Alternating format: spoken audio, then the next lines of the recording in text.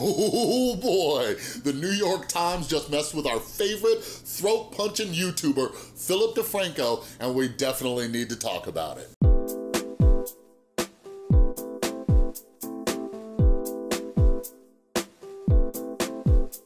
What is up, everybody? This is Chris from The Rewired Soul, where we talk about the problem, but focus on the solution. And if you're new to my channel, what I like to do is take a look at what's going on in the YouTube community, the news, pop culture, movie, TV shows, try to see what lessons we can learn from them. So if you're into that, make sure you subscribe and ring that notification bell. And if you're not yet, make sure you're following me over on Instagram and Twitter at The Rewired Soul, because Twitter was popping off this morning about the New York Times article and Philip DeFranco being in their thumbnail, all right? But anyways, I love engaging with all of you beautiful people out there on social media, all right? So let's discuss the story real quick about what happened, what this article is about, how Philip DeFranco is involved, but make sure you stay tuned because I'm going to be touching on a few different topics. First, what's going on with Philip DeFranco and how he's involved, but also what this New York Times article discussed as far as it goes when it comes to YouTube, all right? So anyways, a lot of major media outlets out there right now are discussing a couple things.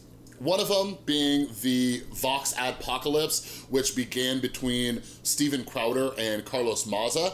But the other thing is a lot of people are trying to demonize YouTube, all right? And we need to discuss this, okay? So anyways, the New York Times just came out with an article discussing how YouTube kind of fosters this breeding ground of alt-right people and radicalizing people based on the way their algorithm works, all right? And we're gonna touch on that in a minute.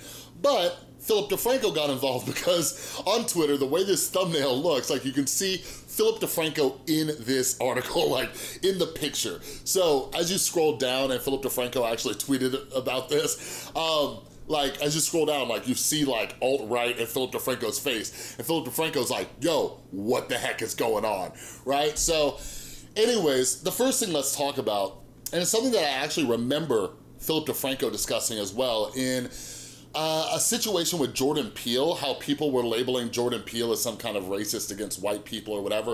And Philip DeFranco touched on kind of like these outrage headlines that people create, right? So one of the larger issues that we need to recognize, all right, is that when it comes to news articles, when it comes to YouTube and everything like that, like based on what we know about human nature and psychology, all of these things are trying to invoke some type of emotion, all right? This is the re reason for titles, this is the reason for thumbnails, all sorts of things. They're trying to make you feel something.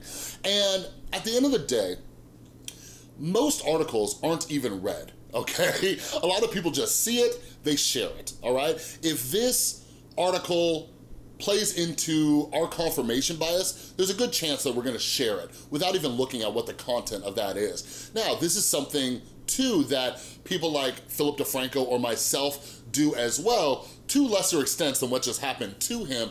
But whenever us YouTubers are creating titles and thumbnails, we're asking ourselves, how can we invoke an emotion in somebody to get them to click on this, to get them to share on it? Like the title of this video, I just sit there and ask myself like, okay, how do I title this thumbnail or how do I title this video?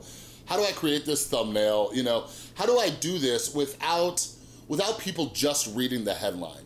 And that is something that a lot of us have to take responsibility for. We have to realize that the world is a certain way and it isn't the way we want it to be. Because for me, in a perfect world, people would click on a video, watch the content in its entirety, and then form an opinion.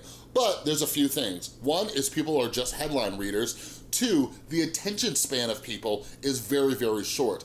Like, on average, my videos are between like 10 and 12 minutes, and my average watch time is about three and a half to four minutes, all right? So this means that most people watching my videos are only watching one third of my video.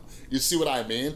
So we have to think about this. So what the New York Times just did to Philip DeFranco can be very damaging, all right? Because if you actually click on this article and go through this article, like it does not mention Philip DeFranco one single time in that article, all right? Now, the article is actually about the YouTube algorithm and how it can create this kind of like rabbit hole of, you know, far right or alt-right opinions and videos and conspiracy theories and all these other things, which is very true. But the article actually starts to talk a little bit about you know, liberal media and everything like that on YouTube. Now, one of the reasons Philip DeFranco is the guy is because he tries to show you both sides of situations. He tosses in his opinion minimally. Um, he usually asks you what your thoughts are on it as well. But at the end of the day, he was lumped in to this thumbnail with people like Alex Jones, Paul Joseph Walker, I think Milo Yiannopoulos was in there. Um, Philip DeFranco's picture was right below Ben Shapiro. And anybody who knows Philip DeFranco knows that Philip DeFranco, if anything, is more liberal leaning, all right? But at the end of the day, New York Times did their job because check it out, like all of us YouTubers, we're talking about it, we're tweeting about it, we're retweeting it. That article is probably getting way more exposure than it would have had they not used Philip DeFranco in it. You see what I mean? But anyways, now let's talk about the YouTube algorithm, how it keeps people in a bubble, throws them down a rabbit hole. So I've talked about this before. I made a video about this a while back, like maybe a month ago, barely got any views, so let's talk about it again. The way YouTube is designed is to keep you in a bubble, all right? Because YouTube wants to keep you on its platform as long as possible. This is the way every single social media platform is designed. Facebook, Twitter, Instagram, whatever it is. This is why it will recommend things that you like. So um, I was actually just talking with a friend about this, like, for example, when I've been researching this Steven Crowder, Carlos Maza situation with the Vox Adpocalypse, like YouTube is just recommending me so much stuff that I have no interest in. And my YouTube recommended gets messed up just because I'm a YouTuber and I do research on stuff. So sometimes I start researching something that doesn't agree with my personal views or opinions or whatever. But that is the way YouTube is designed, all right? And that's not gonna change. That is not changing at any time. So what I try to do with my channel is when I'm explaining these stories and explaining these things, I'm trying to pass the responsibility off to you, the viewer. Like you need to recognize that this is happening. You need to recognize that social media platforms are trying to recommend you more things that you're going to watch that agree with your opinion. So when you combine your interest with confirmation bias, you're going to keep finding people that confirm your opinion. Now, what this article was talking about is the kind of unknowing brainwashing that happens. And it's dangerous, and I'm gonna talk about why that's dangerous and what we can do about it. But at the same time, like I look at it in a much lesser extent. I've talked about this before, especially like during the James Charles situation.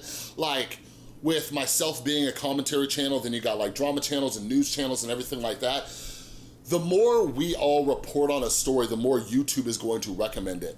I, I would love to collect the data sometime on how many videos on average you, the viewer, watch based on a certain story. Like the James Charles situation when that was going down. Like how many videos did you watch that were reporting on that story? You see what I mean? Because the more we watch those, the more that message can be put into our brain. And that's where I think we as YouTubers have a responsibility to do our research, to try to come at these stories from an objective point of view. Because if we play into a narrative, like something that happened with James Charles and some of the serious allegations against him, like it is affecting you as the viewer. But there's responsibility on our end as well as on your end to recognize what's happening. Like if you see 20 videos on a subject and they're all agreeing with one another, like ask yourself for one second, like, is this accurate? Where's the proof? Is this one providing accurate sources? Is this one showing where this information came from and is it credible? You see what I mean? Because all of us need to work on being independent thinkers and not just following the leader and believing everything that we hear. So the last thing I wanna talk about with the way the YouTube algorithm is working and the rabbit hole people can get into, when I look at this stuff, like, it it worries me on a bigger level in a different way than most people. Like obviously I'm worried about people becoming radicalized and doing, you know, egregious things and everything like that. But I always try to get down to the root of the problem, right? The root, like what what is happening, right? Like, for example, I'm somebody who's fascinated with like cults and things like that. And something that you recognize with cults is they find people who are the most vulnerable. People who feel like society has let them down. People who are, you know, loners, people who come from a broken home. You see what I mean? So when I look at these situations and I see the people who are falling into this, what I think we all need to do is, is start asking the question like, why are so many people hurting?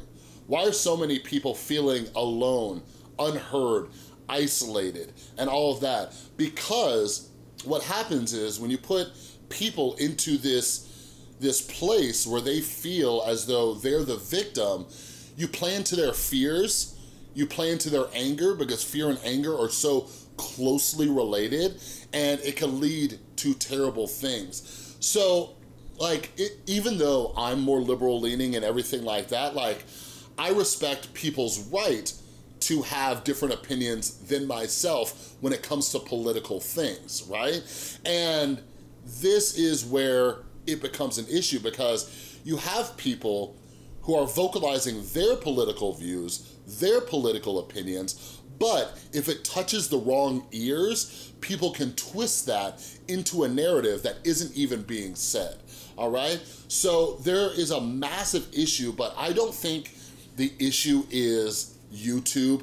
I don't think the issue is necessarily, you know, just anybody on the opposite side of the aisle than like my political views. I believe the, the root cause of the issue is that we have a lot of people who are in a lot of pain and we need to start figuring out why all right? So if you're somebody, if you're somebody and you're in pain, like do not be afraid to reach out and ask for help. There are so, so, so many resources, all right? What I always recommend is the following steps. Like if you think that your mental health is messed up, like talk to your doctor, see if they can recommend a therapist. If you have insurance, talk to your insurance company, see which therapists are in your network. Like if you're somebody who's dealing with depression, anxiety, trauma, whatever it is, there are therapists who specialize in that. Talk to friends and family members. See if they know a therapist who you can work with. If it's more extreme, go to treatment for a little while, all right? I personally use BetterHelp online therapy. I have a phenomenal